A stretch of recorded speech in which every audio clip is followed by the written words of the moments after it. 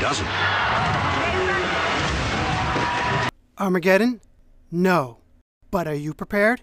Armageddon Insurance Professionals. Be prepared.